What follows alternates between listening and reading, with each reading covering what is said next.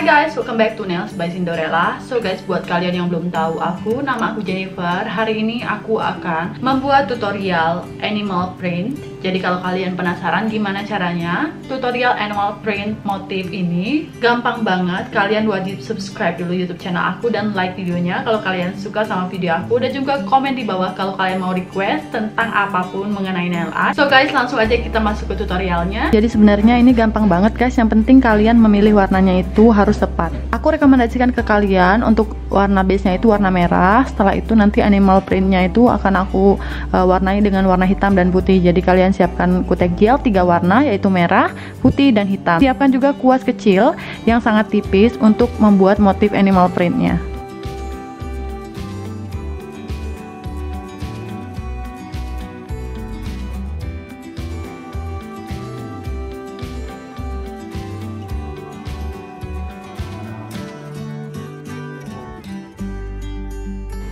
ulangi lagi untuk lapisan kedua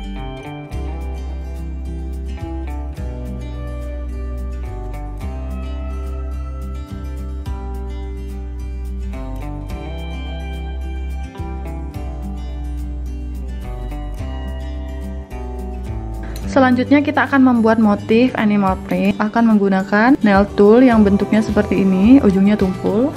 Untuk coraknya sendiri, kalian nggak perlu fokus kalau dia semua horizontal atau vertikal, jadi kalian bikin aja campur.